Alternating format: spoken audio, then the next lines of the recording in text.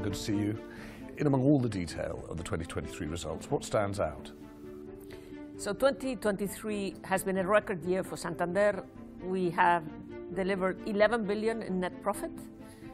So record profits, and as I always say, delivered the right way.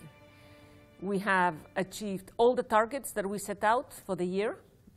And so the first thing I want to say is thank you to all the amazing team across Santander that have done an outstanding job. Uh, and what about the big thing you talked about at the end of last year, the restructuring or the reorganization against these kind of global five business lines? Is that happening? What's the progress on that? We need to deliver not just profitability, but also growth.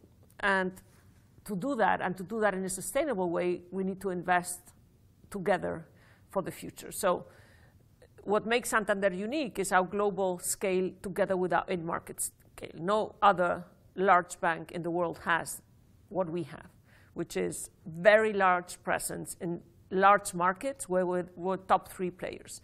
As you combine now in this new phase of value creation with a global scale, so we're very confident we're going to continue to deliver in 24. Uh, we have said that the way we're going to deliver is by building global platforms across retail commercial banking, across the consumer bank. And this is really important because it means a change uh, where the whole bank now is going to be run by global businesses. The countries, of course, will remain accountable, very much accountable. We think that is really important, but they will all work towards a common business model, including in the retail commercial bank and the consumer bank. What do you hope to achieve in this coming year?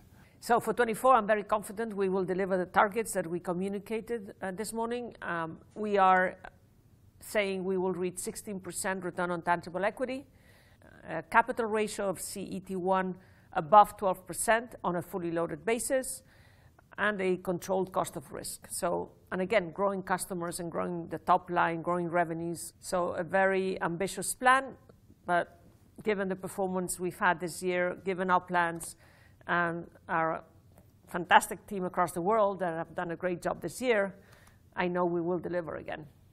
Ana Botín, thank you very much.